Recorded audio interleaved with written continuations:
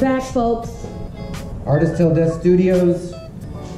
Soon we'll get us a mic or a little bit better camera, but for now, stick with the GoPro. Uh, what you want to do, pretty much on any canvas, depending on what you want to achieve with it. If you want it smooth, if you want it textured, if you want it uh, a little more stiff, eh, you can come up with a better term. Um, Taut is a good thing. if you want to airbrush on it, this is a perfect way to smooth out a canvas. Or if you want to do a resin pour, um, this really helps it to not gather in the center. Although we haven't, I don't think we've ever done a pour this big, so I'm not sure if it it uh, gathers in the middle, but it definitely stiffens it up, makes it a little more rigid, flat, and a little smoother for when, if you want to airbrush on it. Or do a portrait or any kind of other painting if you want it smooth. Basically, always forever canvas. So what you want to do, take it out of the wrapper, use, I use 220, you can use 200, whatever, to start, to knock off the, the, uh, whatever gesso they put on there. Um,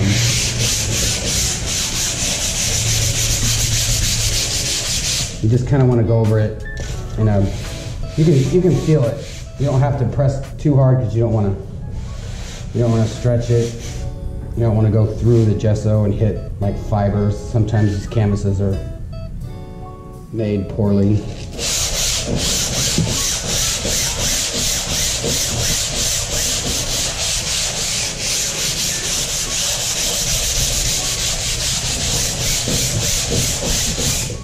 And we we prefer the gallery wrap. Let me show you. The gallery wrap like you can see it's it's kind of hovering it doesn't really touch with a regular canvas it's pretty much touching and when you sand it it'll you'll get a line and you'll get this line too down the center and when with the gallery wrap you get zero zero lines zero uh, sanding marks to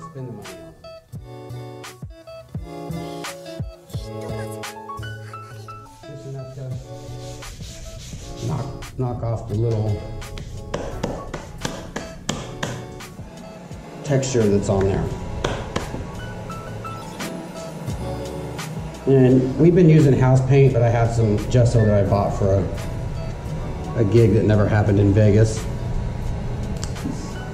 So, not gonna ever get over it. Um, you can use house paint, just regular old flat, uh, flat white, or whatever color. You can use black if you like to paint on a black canvas. You use flat and then tint it if you want. You can put color in it to tint it. But for right now, I'm just going to use this gesso. And I would definitely put it on in sections because it dries pretty fast. And it's no fun when it starts to skip around.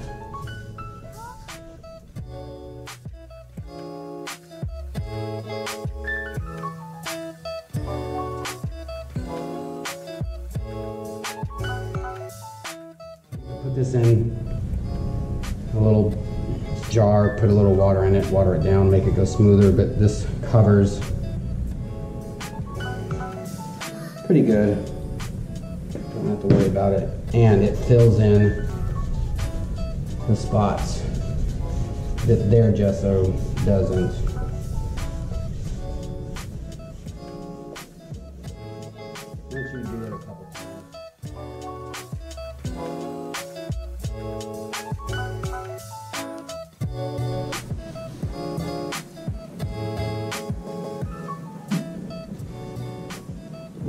All the hair out you can. If there's hair or dust or lint, And while you're waiting for it to dry, take your brush, get a Ziploc bag, so you don't have to wash it out.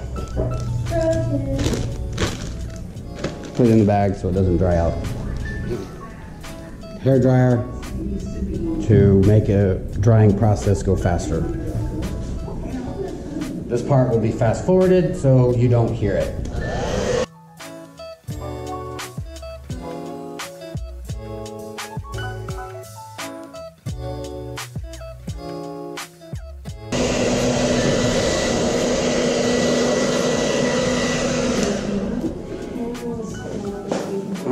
You could stop here if you wanted. Um, if you want a little texture, and and it's it's still smooth, but you can definitely feel the gesso. Um, or you can take your 220 again uh, and hit it over again. One more time over. And if you really want to get it smooth, you can take a 400 and sand that as well. And that will get it super smooth and you could be done. Or you can put another coat of gesso, which I like to put another coat of gesso because I do a lot of scratching and erasing when I do a portrait. And this is pretty much going to be a portrait of a bird and some skulls. So I'm going to sand it with this and this and put another coat of gesso. And you don't have to go over it as much because the gesso, it's, it's pretty light and you don't want to scrape off too much of the gesso you just put on. So, just a little.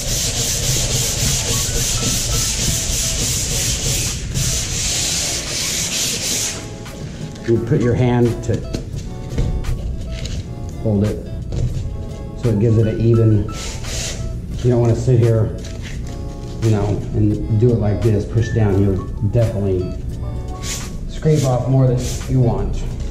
So even, four fingers out.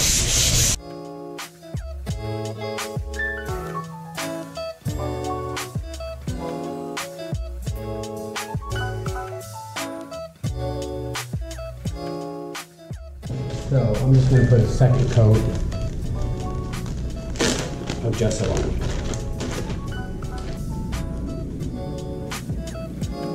Do your normal like you did last time section at a time. That way you won't miss where you and you can feel it goes on a little bit smoother than last time. A little bit easier to work with do your sides.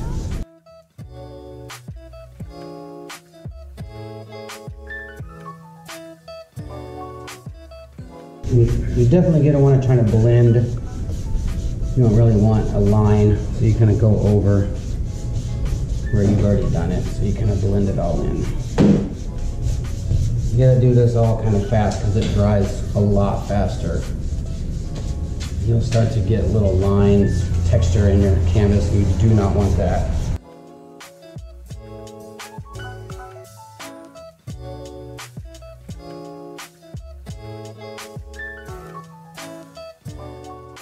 Let dry, sand, and I will be right back. So, to recap, what you need is a black foam brush, because that's like a two inch, basic acrylic gesso, or you can use house paint, flat latex house paint, works just as good. Um, a, what is this here? A 220 to start off, sandpaper. Remember, grip it, get a little more coverage of sandpaper, smoother. And if you want to go smoother, you can use a 400. Not a problem. So I hope this helps you guys out in prepping a canvas to airbrush or paint or do a pour on. And that's about it. thanks for watching. Subscribe, like, share, all that fun stuff. Let's do it.